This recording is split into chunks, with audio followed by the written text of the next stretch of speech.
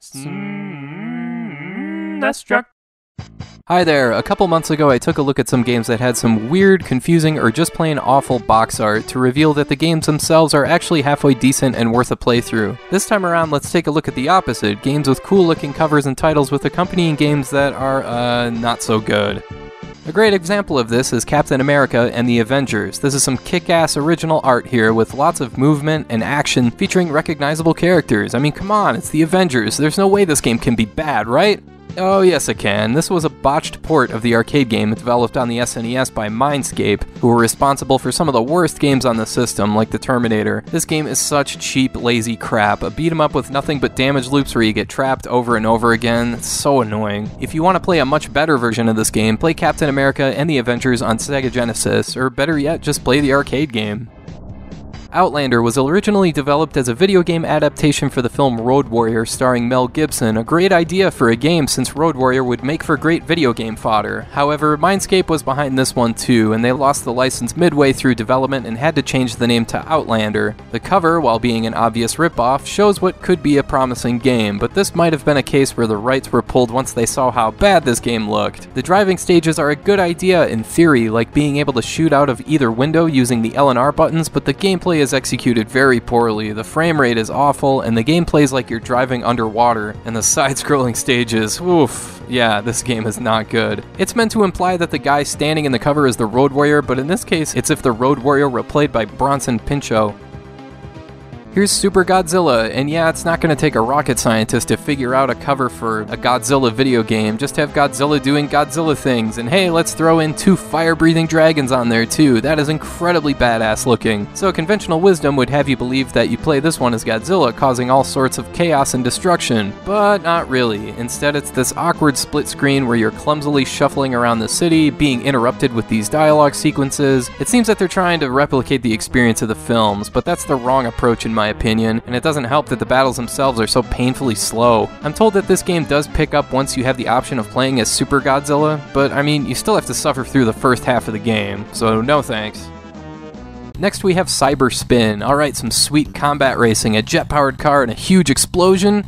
Or how about none of those things? Cyberspin is a classic case of an 8 bit game refitted to a 16 bit platform at the very last second. Everything about this game screams NES. Not that there's anything wrong with NES games, of course, it's just that, you know, when I'm playing a Super Nintendo game, I'd like it to look, play, and feel like a frickin' Super Nintendo game. The controls here are so oversensitive to the point that the game punishes you for going too fast. Yes, a racing game that discourages speed. Doesn't that sound fun? Okay, maybe we should simplify things even further. How about Gun Force? It's a bunch of robots shooting guns. It is a force of guns. You cannot possibly screw this one up. And, ah, jeez, it's another one of those run and guns with floaty jumping and running like you're trying to waddle through quicksand. It's less of a run and gun and more of a jog and gun. Gun Force isn't that bad, it's just painfully mediocre, and it's a really short game too. So it turns out those robot soldiers on the cover may have just been stormtroopers trying to hit the broadside of a barn.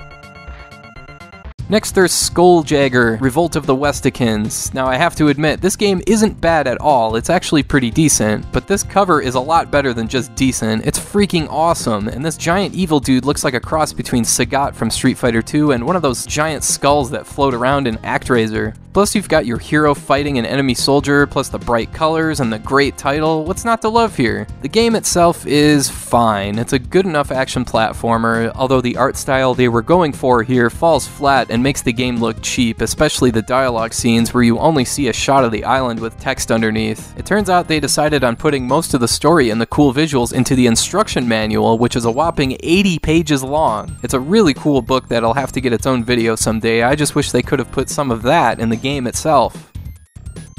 Let's look at Best of the Best Championship Karate, featuring a guy getting kicked right in the face. Yeah, that's what I'm talking about. But this is one of those cinematic style games where the emphasis is put more on smooth sprite work, which is nice looking, but that's the focus rather than the combat itself. There is some interesting stuff here like customizing your own moves, but come on man, I just want to play as Danny Bonaduce kicking John Stossel in the face. Yeah, that's right, I'm doubling down on John Stossel mentions. Hey, it's probably the most that guy's been talked about in like 20 years.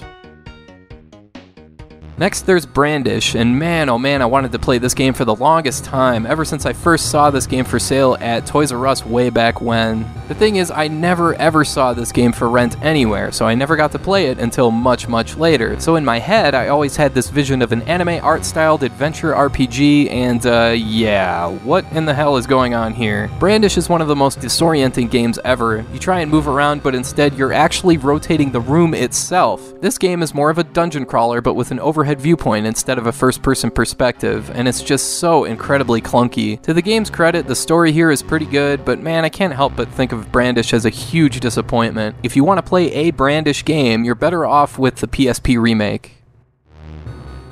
Gdleen is an interesting piece of Super Nintendo history. It was meant to be ported over to North America as one of the system's first localized RPGs, if not the first. It was even pictured as one of the early upcoming SNES titles in a Super Nintendo preview issue of Nintendo Power, and the cover looks pretty damn cool. It's hard to go wrong with the main hero here alongside his friends fighting some hideous looking monsters. But sadly, Gdleen never got localized, and to this day it hasn't seen a finished English translation because, well, it's just not very good. It's based on a light novel series which was eventually made into an anime, but the game is just so rough around the edges, the encounter rate is ridiculous, the user interface is cumbersome, and you can just find way better than this game. I also want to mention a Super Nintendo game that was made within the last couple years, Unholy Night. Wait a minute, what? A new Super Nintendo game and it was made by the people who worked on games like King of Fighters and Samurai Shodown? And check out these badass looking fighters you get to play as. This looks awesome. But unfortunately, Unholy Night is a sloppy mess. This game looks like it was made for Sega Saturn but crammed onto a Super Nintendo cartridge instead. The frame rate is awful, so the gameplay is choppy beyond belief, so don't let those giant physics defying anime boobs fool you. Unholy Night is not worth picking up. Finally, we gotta talk about my old nemesis again, Bill Laimbeer's Combat Basketball, just because the notion of combat basketball sounds cool. It seems like that idea would be perfect for a video game. We've seen it before to an extent in games like Arch Rivals, and that was a couple years before NBA Jam hit arcades, so hey, the opportunity was there. But instead, this game adopted an overhead bird's eye view where you can't tell the players apart, and the game utilizes a grand total of two buttons, one to shove and one to pass. Well, wait a second, shouldn't there be a button to shoot? Yes, there should. but instead, the game has you throw a pass in the general direction of the basket to shoot. It's just awful. I think I'd rather play Pete and Incaviglia's combat baseball or Bubby Brister's combat football before touching this game again. Alright, that's all for now. I want to thank you for watching, and I hope you have a good rest of your day.